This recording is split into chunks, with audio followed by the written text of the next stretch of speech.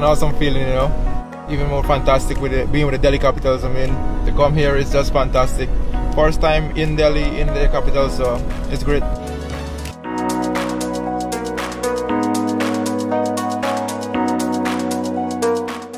In the first game at the Wankhede, it was just amazing. And even better, we won.